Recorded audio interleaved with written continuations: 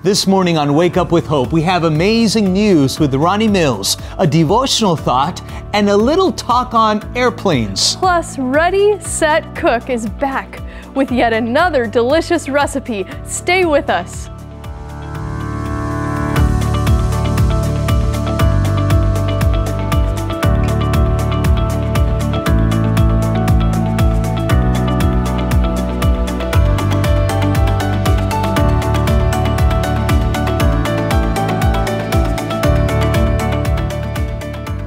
Good morning and welcome to Wake Up with Hope. What a blessing to be at the end of yet another week.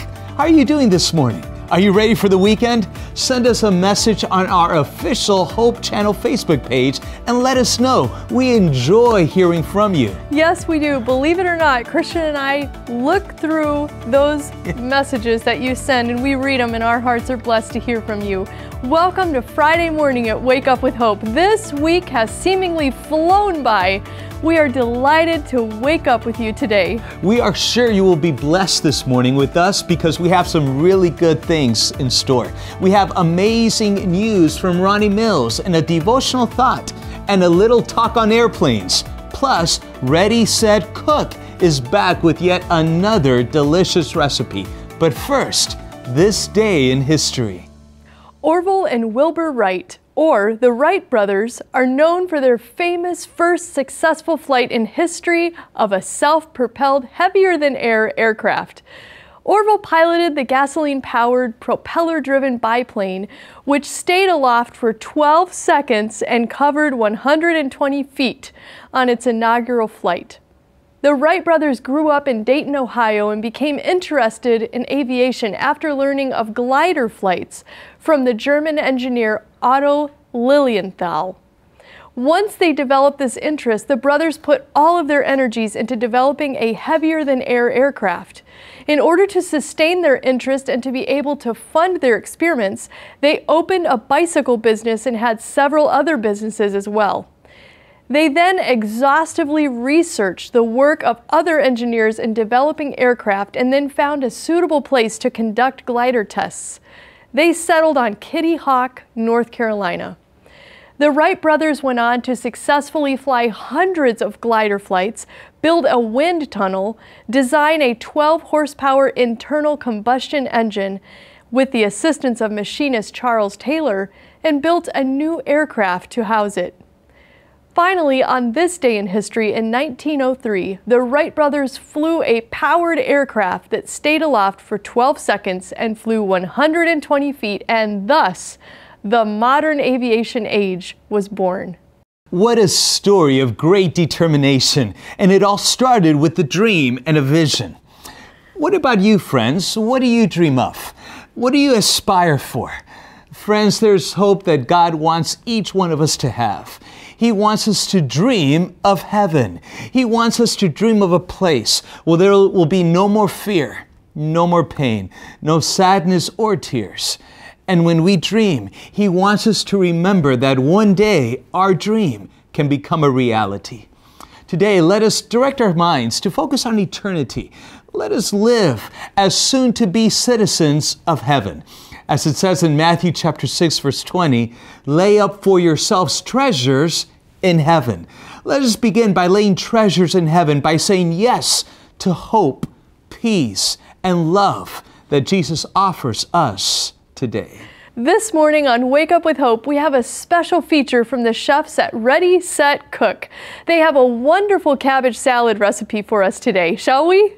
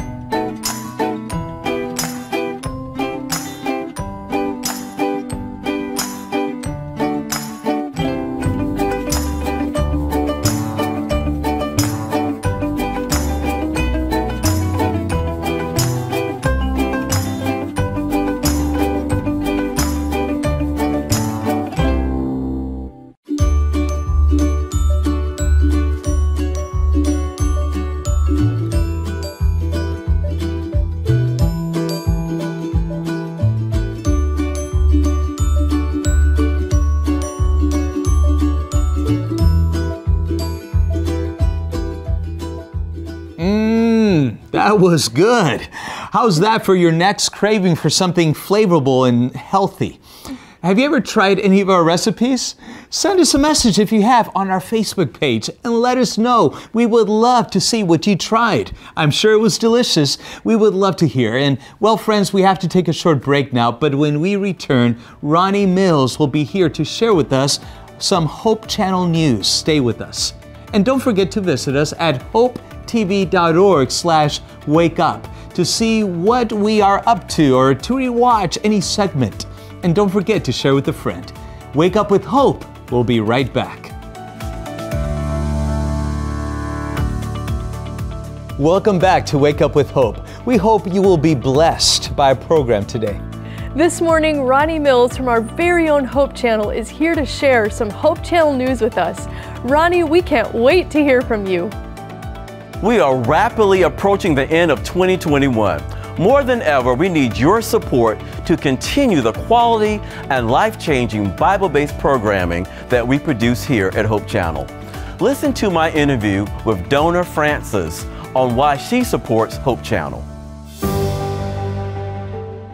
Greetings, Frances. It is great to talk to a fellow Tar Heel. And what's better than that? To speak to someone who's also a financial supporter of this powerful impact movement, Hope Channel. Frances, welcome. Thank you so much for letting me be part of this. I appreciate the opportunity. Amen. Well, we're just honored to have you today. Uh, Frances, how did you discover Hope Channel? Well, I uh, have for a number of years been kind of, you know, going through channels trying to find something that would teach or inspire and help me know the Bible more. Uh, and at some point, I just uh, forgot about it. Uh, but during the, the COVID epidemic, uh, with being uh, so isolated, I flipped through the channels and the help of God found Hope Channel and started watching it and found program after program that not only uplifted my spirits but taught me uh, and showed me so much about the Bible that I had not fully understood. Uh, a lot of great uh, other information as far as other parts of the human need uh, regarding spiritual, like uh, the channels that uh, teach you about food or history or relationships or missions, um, and just beautiful other programs like creation uh, that just says all the nature pictures and scripture across them that is so restful at times. Mm. So I've made it my main channel. Amen. Uh, and found that there's no need for me to channel hop anymore. Mm, mm. Amen. You hear that, America? Frances has made Hope Channel her main channel. She doesn't need the remote. She's only using one channel now. Now, there are many worthy causes that people can support in the world. For someone today who is trying to decide if they should donate to Hope Channel, what would you say to them? I would say if somebody is trying to decide to donate, it's definitely like when the Holy Spirit was knocking at my heart mm. and saying, You have so much to be appreciated. Your spirit is be, being fed all hours of the day and night. Give back to those that have given to you. And so it became a no brainer uh, then to sit down, write out a check, uh, and help those that help me. Wow, wow. Well, Sister Frances, we thank you again for being part of the mighty impact movement of Hope Channel. And your testimony today has inspired the whole Hope Channel team to work harder for Jesus Christ. Thank you again for being part of the impact movement that Jesus is using through Hope Channel to prepare people for his soon return. God bless you. Won't you be like Frances and become part of the impact movement here at Hope Channel? There's no better investment that you can make this year than by donating today and helping introduce someone to Christ through Hope Channel so they can experience a better life now and for eternity. Call today and one of our donor care team members will take your donation at 1 888 446 7388. That's 1 888 446 7388 or donate online at hopetv.org slash donate. Thank you, Ronnie. We have to take a break now, but when we return, we will have today's devotional moment. We'll be right back. Welcome back to Wake Up with Hope. Thank you for staying with us this morning. It's now time for our devotional thought. Good morning. Thank you for tuning in to Wake Up with Hope. My name is Dr. Carlton Byrd, and I'm the Speaker Director for Breath of Life Television Ministries. And this morning, I have something powerful and inspirational to share with you. But before I share with you, let's talk with God. Lord, thank you this morning for another day. We pray your blessings on us and in our nugget we share with your people. In Jesus' name, amen. This morning, I want to share something from the book of Jonah. And I begin by reading Jonah chapter 2, verses 1 and 2. The word of God says from the King James Version of the Bible Then Jonah prayed unto the Lord his God out of the fish's belly and said, I cried by reason of mine affliction unto the Lord, and he heard me. Out of the belly of hell cried I, and thou heardest my voice. Now, most of us, we know the story of Jonah as recorded in the book of Jonah. Jonah has only four chapters, but the lessons in Jonah are so numerous, I could preach countless sermons on Jonah, but that would keep us all day. And so, because I can't do that, I'll only share a few lessons this morning. Now, there are many themes and lessons from this short book, but at the end of the day, the story of Jonah is about following God's leadings. When you follow God, you triumph. When you don't follow God, get ready for trouble. In Jonah chapter 1, God tells Jonah to go to Nineveh and preach the word. But Jonah doesn't want to go to Nineveh. Why? Nineveh was the place where they sent preachers to punish them. Nineveh was the city nobody wanted to go to. Nineveh was the place where preachers went to die. In fact, according to the historical record, Nineveh was the most despicable, most cruel, most evil, most idolatrous city in the world. Ninevites would cut the heads off of enemy soldiers and stack them up outside the city.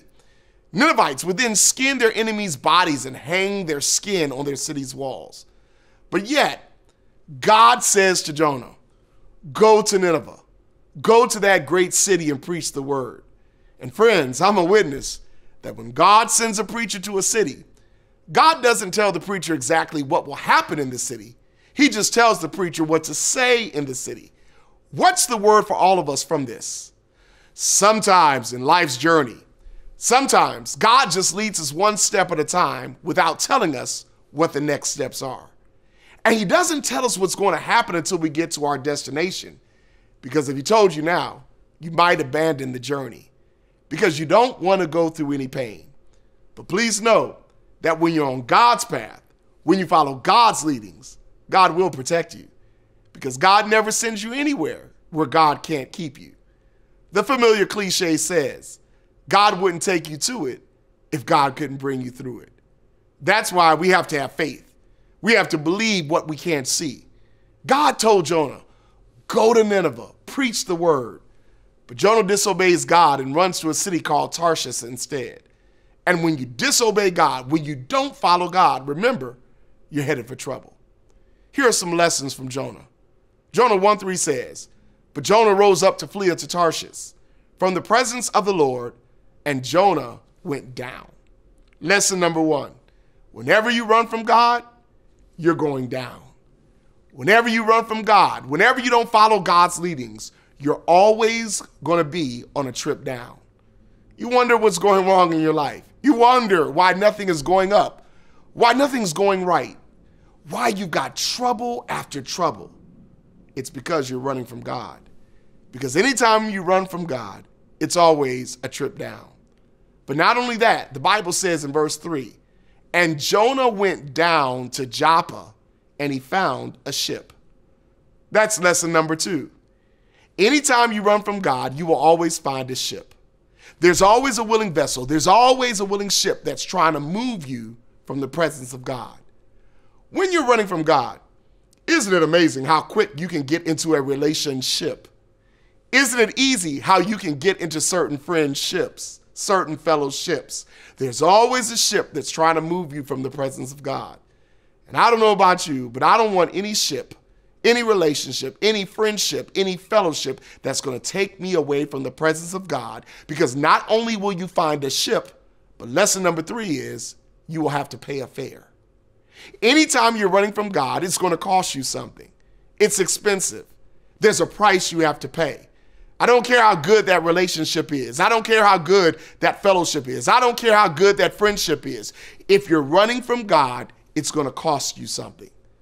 I believe this morning there's someone watching who knows what I'm talking about because you've been in some relationships that have cost you something, a relationship that was expensive.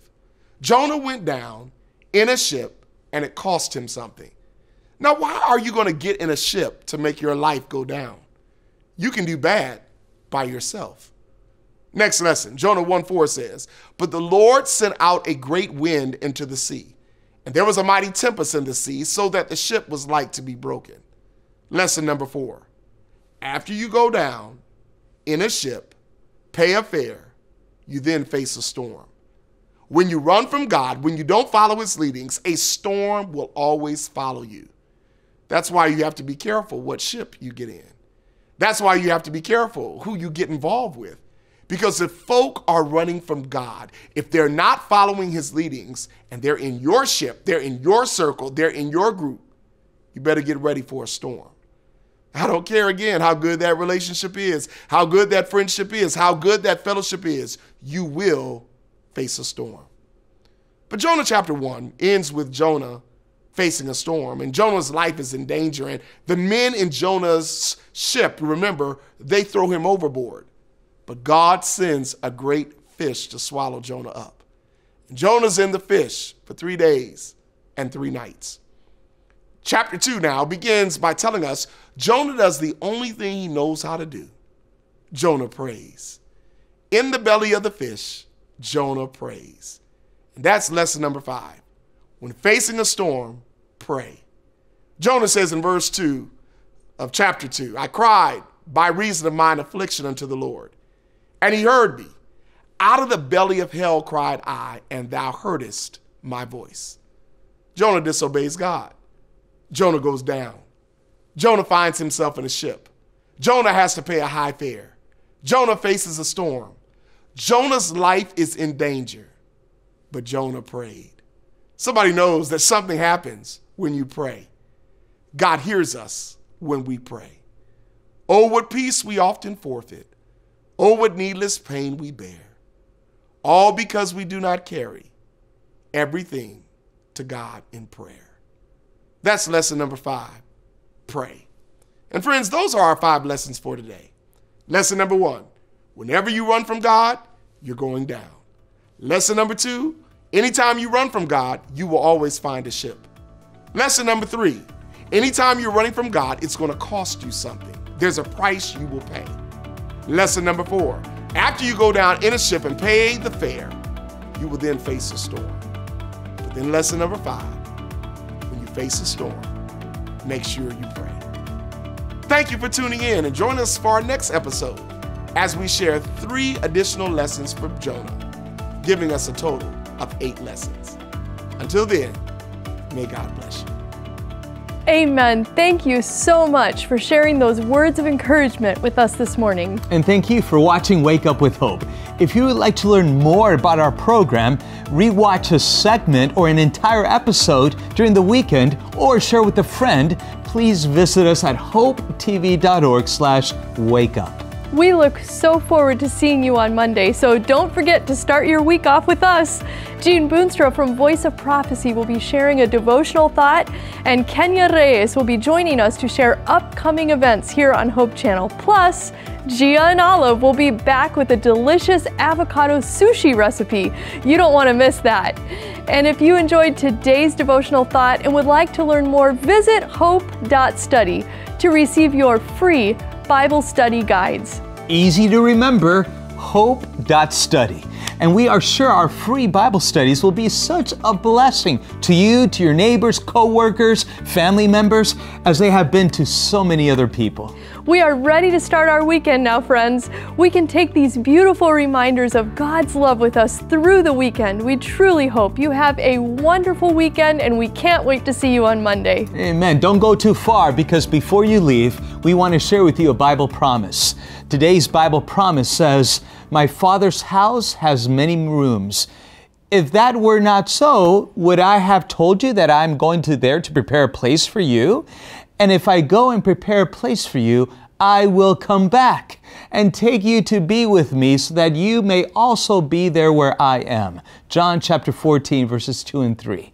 What a blessed hope we can have in Jesus. This world, with all its pain and suffering, is not the end. Jesus is preparing something better, much better, far better for us in heaven. May we draw closer to Him today so that we can be ready to meet Him when He returns. Let's pray together. Father in heaven, today, Lord, it's not just another ordinary day. Today is a day of preparation, a day to prepare for your soon coming. We know, Lord, that the weekend often has unexpected surprises, but Lord, you're going ahead of us. You know what is coming, and we're going to trust you. May we all have a restful, peaceful, weekend so we can gather once together together once again next week to begin yet another journey with you. Thank you for answering our prayers in Jesus name. Amen.